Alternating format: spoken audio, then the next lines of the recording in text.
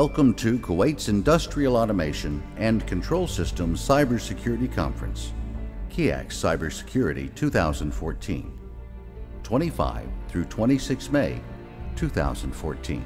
Hosted and organized by Equate Petrochemical Company in partnership with KPC. Ladies and gentlemen, let's move on to our keynote speaker this morning. We're going to be welcoming back Eric Byres, and he's going to be um, doing a speech entitled Alternatives to Patching for More Secure and Reliable Control Systems. So please welcome back to the stage Eric Byres, Chief Technology Officer and VP of Engineering at Tofino Security. Eric, welcome. Thank you very much. It's good to be back here. Um, we've been talking a lot about incidents. I talked about incidents in my earlier talk. But incidents aren't a problem if you don't have any vulnerabilities.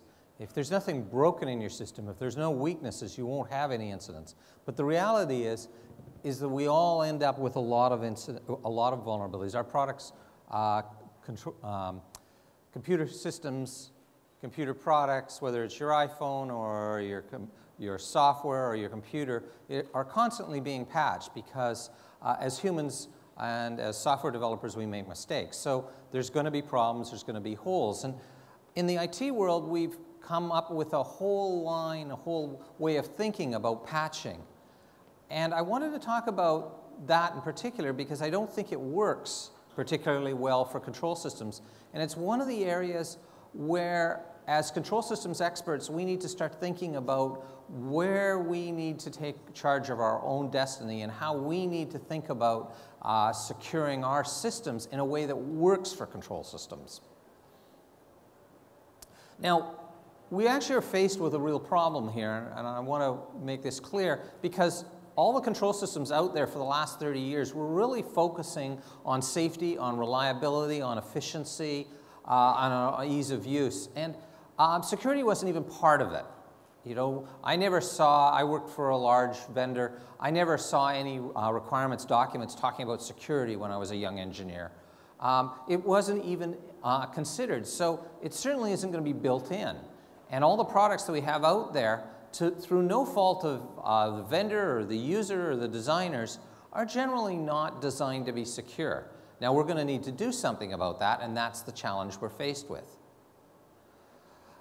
Um, to give you an idea of just like how serious this could be and, and what's happening prior to Stuxnet, when, before people started really looking at control systems, there were a total of uh, five security um, advisories and three in the 10-year period, uh, three um, vendors involved in the 10-year period that the US government's ICS CERT tracked security vulnerabilities in control systems. Right after Stuxnet, it exploded, and there were 176 public vulnerabilities, 39 vendors. Um, and I have a little chart you can see there. Um, these vulnerabilities started to become very, very pub, uh, public.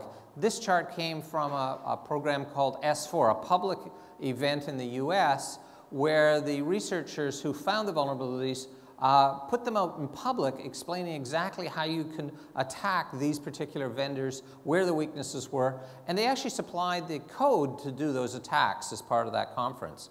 It increased again in uh, 2012, 2013 uh, dropped a little bit. Um, this year, I think it's going to rise again. Um, but the scary part to me is that 40% of the vulnerabilities that are currently getting published are getting published with working attack code included. Now, in the IT world, we've got a fairly established process about how we deal with vulnerabilities. And if we think about that, it's um, we get informed that we have a vulnerability, and so we want to go patch it, or we scan our network. Um, and then we go out and patch. That's pretty straightforward. And I get that every week when my uh, desktop computer reboots because Microsoft has put out a patch that our IT department has then pushed out to me. So we're getting pretty well constant reboot cycles. Um, or scanning. Scanning is a very common technique to look for uh, vulnerabilities but it doesn't work so good in the, uh, in the control system world. Give you an example. A few years ago, uh, an EU gas utility hired a consultant to come in and do scans on their network. Now that uh, consultant uh, accidentally ended up venturing into the SCADA network. His penetration tool uh, locked up that SCADA network, and that company uh, was unable to ship gas for four hours. So the whole idea of scanning a control system is probably a bad idea. Then there's the whole question of patching. Again, I mentioned, and we're all familiar with the fact that our computer reboots every Tuesday because Microsoft sent me some patches. Um, the number of patches is amazing. For example, Adobe Reader, um, in the past four years, they've released 33 patches, all requiring reboots. Now, that's one product, Adobe Reader, um, and the, the number of patches are just unacceptable for a control system. So I started to get very interested on how many patches a control system really would need. If one product needs 33 patches, that's a pretty well a patch every month. How many patches does a, a full control system? So I studied, a, I got the opportunity to study the process control network in a large US refinery in 2008. Um, we found 85 computers on the network. We were able to get good data on uh, 78 of them. Uh, we were able to then map all the processes that were running on those computers. And um, since many computers had the same processes running, or, you know, they're redundant computers, et cetera, we found 272 processes available for running on those computers. We then took those and we went and looked in the National Vulnerability Database and found which ones had vulnerabilities registered. And it turned out of the processes out on that plant floor, uh, there were 48 with registered vulnerabilities. So then we decided to look and see, well, okay, what does that translate to? Have they been patched? Nope, they hadn't been patched. Uh, there were over 5,000 open vulnerabilities on that plant floor in that control system running when we were visiting. So a lot of them were in the operating system, so there was a massive cleanup of the operating system. Uh, that got rid of half of them. But then it occurred to us, wait a second, there's a lot of vulnerabilities listed in the National Vulnerability Database, but it was all for things like Adobe or uh, McAfee or um, Windows components. There wasn't a single listing for the control system components, the ICS components in there. Does that mean that those ICS components were perfect and there were no vulnerabilities? I doubt that. So we started a different tack to try and figure out what had we missed. If they weren't listed in the National Vulnerability Database, were there still hidden vulnerabilities sitting inside those control systems? So we used a technique called looking at the uh, uh, KLOC or kilo lines of code. We went into each of the processes and we determined how many lines of code we estimated now, there's some pretty good analysis and statistics that show that vulnerabilities show up at a pretty regular rate for every thousand lines of code. Uh, if you look at, for example, Windows XP or any Windows products or Linux or uh, all the products out there in the market, you can get good statistics. We picked a fairly conservative number of 0.03%. So for, uh, point, uh, for every thousand lines of code, you get 0.03% uh, are the number of vulnerabilities. Okay, so looking at the number of lines of code on that plant floor, that estimated there were nearly 1,800 vulnerabilities that were sitting ready and waiting to be exploited someday on that plant floor. That's a lot of patching. Now, I just don't think it's practical to do that patching for a number of reasons. First of all, patches cause problems. We're, we're all reluctant as controls engineers, as professionals, to just go and patch. When I see a patch coming in for my iPhone, for example, as much as I trust it, I'm not going to do it at a conference like this because I'm not sure that it's going to work. I'm going to wait till I get home. And in fact, there's some good statistics and good analysis that were uh, at a paper that was called uh, by uh, Zhongying uh, Yin uh, that presented a few years ago. Excellent paper if you want to read it. Um, and he showed that um, when they look back at the patches that were available on operating systems, um, up to a quarter of those patches uh, were incorrect um, and had impacts to the end user. In other words, they were bad patches. A quarter of the patches that he found were bad patches. And of those bad patches, 43% had serious consequences like crashes. That's bad. So if people have a resistance to patches, it's for good reasons. So Pa faulty patches can give us a lot of problems. They can break things that work perfectly well. They cannot resolve the vulnerabilities. Uh, one of the things that I learned from the ICS CERT was many of the initial patches supplied to them actually don't fix the problem. Um, even good patches, ones that are well designed, will require shutdown and restart of your process in most cases. They will remove functionality that you might depend on, or they require special staff, skill, a staff with special skills to be present. And this is a serious problem. So even if you get a perfectly good patch that you know works, you have to be very careful. I'll Give you an example of this. Um, one of the major oil companies with a lot of platforms uh, in the Gulf of Mexico ran into a problem a few years ago. Uh, they were aware of a patch called um, Microsoft Patch 02039. Uh, it was released in July 2003. This patch was for uh, SQL Server, Microsoft SQL Server. And they started to roll that out. But there was a problem. In order to be able to uh, install that patch, you really had to be a Microsoft expert, particularly if anybody had worked with that patch, you'll know that it could lock up your server, and a server on a platform shouldn't be locked up. So they had to have Microsoft experts go out to the platform. But virtually none of their Microsoft experts were certified for platform uh, access. So they only had about two, and they had um, several hundred platforms they were dealing with, and so they were unable to do the rollout. Um, the, so what happens was that they had only patched about a third of their platforms when Slammer hit six months later and uh, impacts all these servers on their platforms.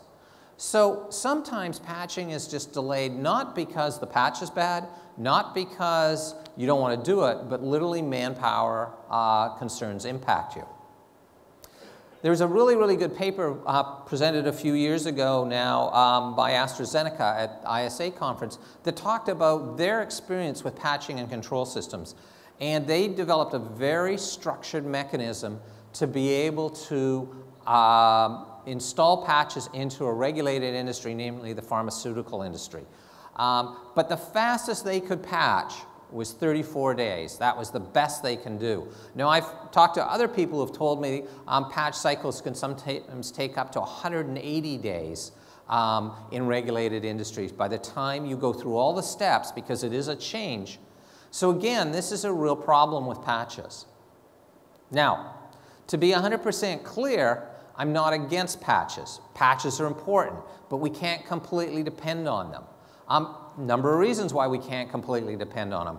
Uh, sometimes there is no patch. Um, I worked with a large vendor who discovered uh, in internal testing they had a vulnerability in their system.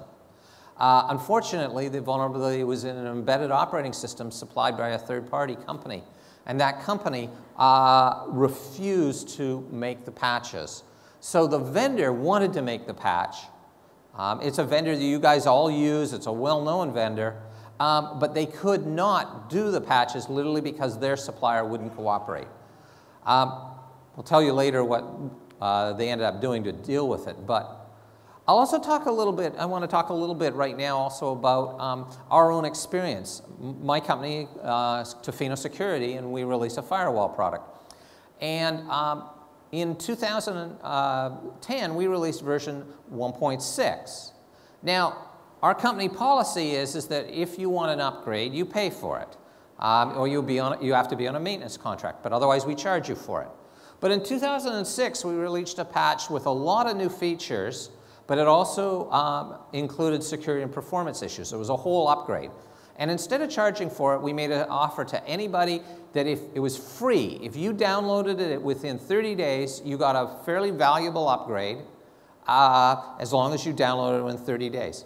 Well, at the end of 30 days, and we contacted every one of our customers and informed them, very few people had bothered to do the download. Even though this is a special offer, free offer, we then repeated the offer for another 30 days. We only got a 30% download rate on our, on our free upgrade. Uh, to, so this really, by the way, that's 30% of them downloaded it because it was free. I don't know whether they actually installed it. So you have a really interesting problem here that um, in our industry, I think quite reasonably, we're very reluctant to be patch happy like we can be on a desktop. So I don't believe patching will work for the vendors. It's very, very difficult to QA patches fast enough when somebody releases a vulnerable, or you can run into the no patch possible problem. And for end users, There's all the problems with downtime, impact on safety and operations, impact on certifications, uh, what do you do about legacy products, um, manpower limitations. So all of this makes patching one part of the solution, but we really need to avoid that patch treadmill. So my recommendations is that we do this in, in a two-pronged approach. One is, yes, have a patching program, but realize it's not going to be continuous. It's good to patch, but to do it in a very controlled manner. But in the meantime, while you're waiting to be able to do patch, have what I call compensating controls or mitigations. And these, this technique, by the way, is widely used in the telco industry. When Cisco released a patch to somebody like British Telecom, British Telecom doesn't just run out and throw it into their uh, big routers. No, they're going to take um, six, eight, ten months to be able to validate that patch. And, and so during that time, they're going to be putting in compensating controls. So what are some compensating controls? What are the benefits of compensating controls? Well, compensating controls are independent of the product development. Uh, there, there's less potentially less um, impact on product functionality. Uh, they are faster. They're, typically, they're lower customer resistance because a customer can back out a compensating control. What are some typical examples of compensating controls? Well, things like product reconfiguration. Um, last year there was a, a, whole list of PLCs that came out with vulnerable uh, web servers on it. Now you could either patch the PLC or you could just turn off the web server service on that PLC. That's a compensating control. Or you could block the HTTP traffic. You could set all your switches and all your firewalls to kill HTTP traffic on your plant floor. If you're not using it, why leave it open? Okay, so that's another compensating control. You could have specific IDS or firewall signatures, or you could do what we call whitelisting the network, where you look uh, at deep into the packets, deep into the protocols, and start to look at exactly what a particular protocol is being used for. very, very similar to what you see in the home market where people start to look at the content of HTTP to protect their children from pornography. We need to do the same thing on the plant floor where we look at, into the content of a Modbus message or the content of an HTTP message and saying, what's the intent? And by doing that, we can really whitelist our network and cut down the amount of messages on the network and therefore reduce the need for patching in a hurry.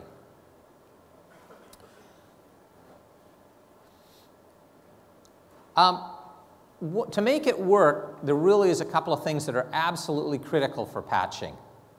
Uh, first of all, it has to have any, uh, sorry, patching on compensating controls any compensating control really has to have a low impact on reliability and safety. Uh, if you have a solution that impacts your safety, it's just not going to be accepted in our industry. And it must be simple. This is absolutely critical. We tend to make security too complicated. And in the words of uh, the ISA 99 security system, we have to make this security something that a plant superintendent or engineer or senior operator can do in their spare time, or it, security is going to flop. And I think that really applies to the whole question of mitigating controls. Now, I'll give you a couple of examples of where I have seen this work very successfully. One is something called a fixed configuration firewall. Um, these have fixed rule sets to match particular product vulnerabilities. So they're built rule sets designed specifically for the, for the job of cleaning up traffic on the network so a vulnerability can't be exercised. Um, so examples could be you could have a, a, firewall that's designed specifically to only allow FTP, Modbus, and say SNMP traps if that's all you need, and deny all other protocols, and even dig in deeper. Um, there's some real benefits with this. It's trivial to install. It's very simple to QA. I'll give you an example of this. Honeywell produces something called the Safety System Firewall. Now, this little firewall here is designed specifically to protect safety systems. Uh, there's no user configuration. Um, it only allows Modbus commands to go through it, nothing else. So if you have a, a, vulnerability that's HTTP, it just blocks all HTTP. But in particular, what it does is it looks at the Modbus messages and it only allows Modbus read messages, and it only allows Modbus read messages that are what we call sanity checked or uh, uh, meet the specification of the protocol. The whole configuration is completely locked down to the Honeywell safety system. Um, and if new vulnerabilities come out, then a new configuration can be loaded, but nobody has the chance to play with it, make mistakes. It's all pre-tested at the factory. Oops. Uh, another example is one that's put out by Caterpillar. This is for protection of their, of their compressor systems. Now they have remote monitoring services at Caterpillar at Solar Turbines, uh, specifically designed to be able to monitor um, offshore compressor platforms. Um, now, the, as you know, compressor platforms are high-risk systems. Um, and monitoring, um, even if you're using a VPN or some sort of um, encryption from the remote uh, support office in, you have these risks that what happens if something goes bad at the remote support office?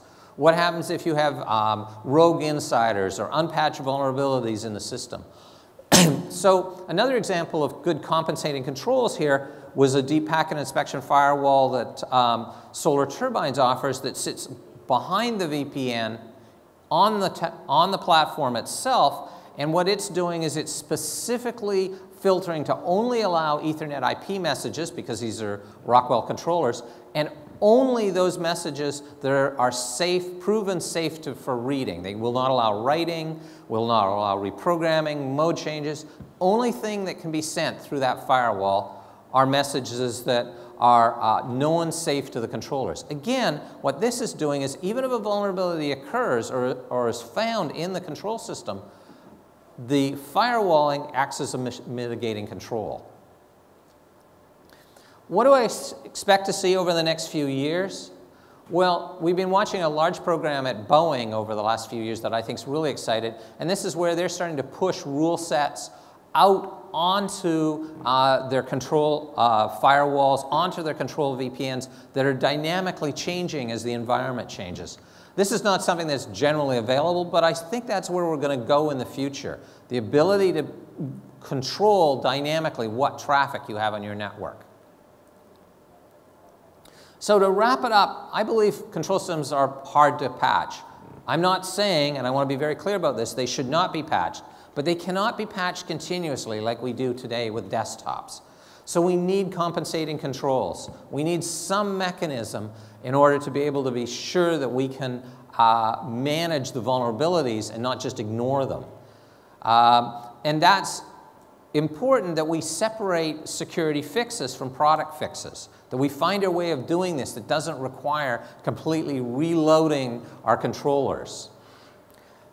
In order for it to work, a security solution for the whole problem of vulnerabilities is going to have to be simple for the end users to deploy separate from the control system products uh, QA cycles, provably safe, uh, upgradable in the field, and if things go wrong, some way of backing it out because we all make mistakes.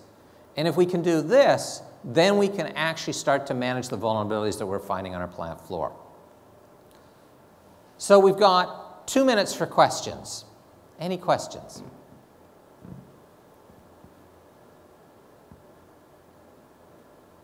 I see a question coming over here. Yes.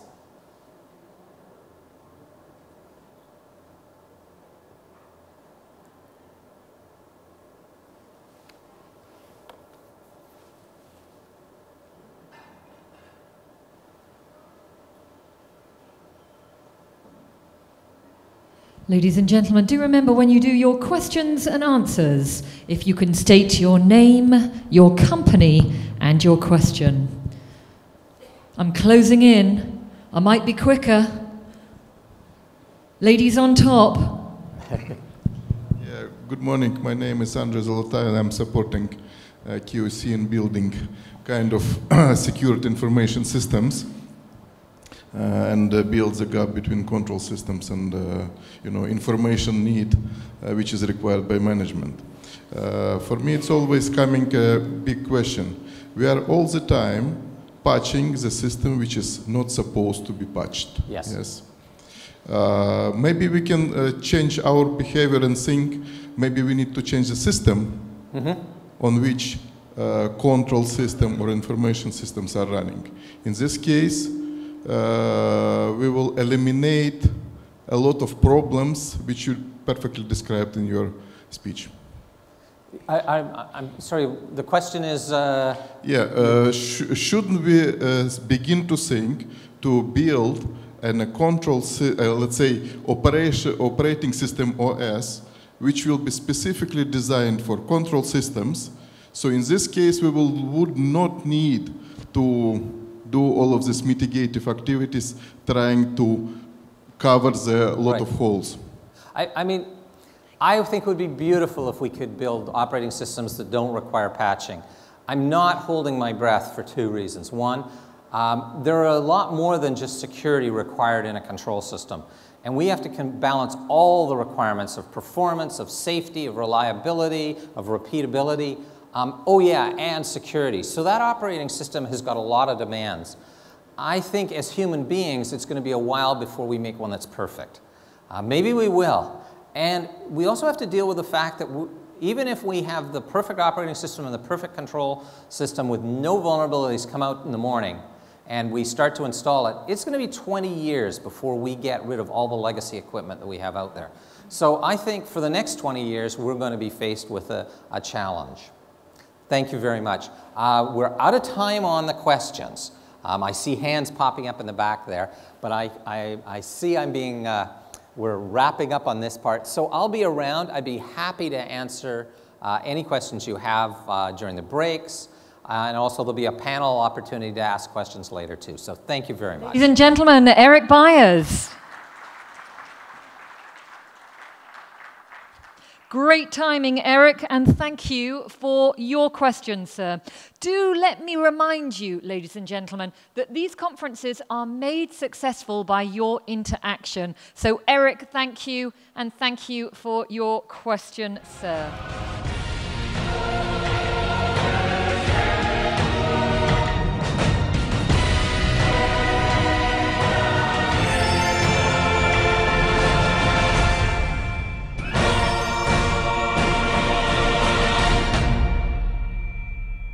Hosted and organized by Equate Petrochemical Company in partnership with KPC.